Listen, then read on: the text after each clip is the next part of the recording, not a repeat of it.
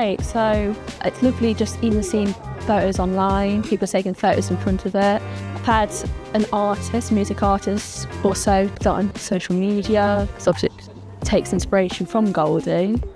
You like to want, he wants one done for himself as well, but uh, from that as well, I've collaborated with the painter on a helmet for a BMXer as well. Um, hopefully you'll wear it for World Cup maybe.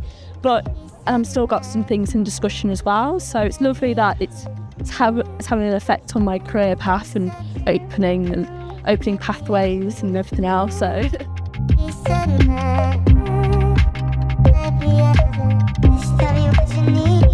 learned so much uh, to get out there and do things. Don't be just so narrow-minded. Maybe experiment with new things, and it, I've met new people as well, like different artists. I've probably seen other other artists work as well, and you know, communicating with them as and where what what their plans are in the future as well. So.